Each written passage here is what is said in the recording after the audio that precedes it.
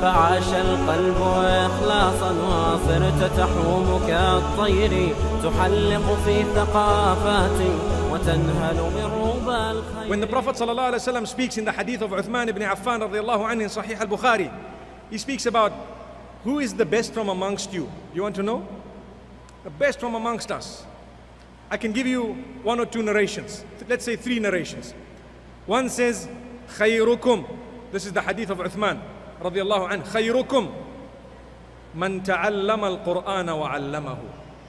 The best from amongst all of you is the one who learns the Quran and teaches it.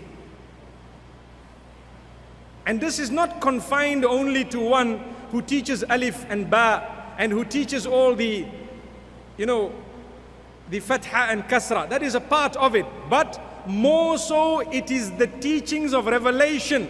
Whoever has dedicated some time or a lot of time or most of their time to learning what their creator has revealed and learning it thoroughly and properly the, the instructions the do's and the don'ts understanding it putting it into practice and conveying it to others nobody can be better than that person.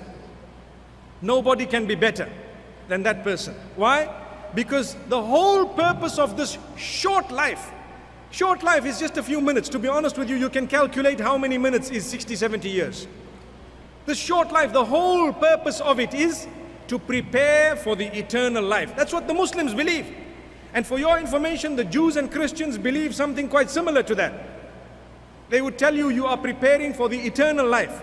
May Allah subhanahu wa ta'ala grant us good preparation.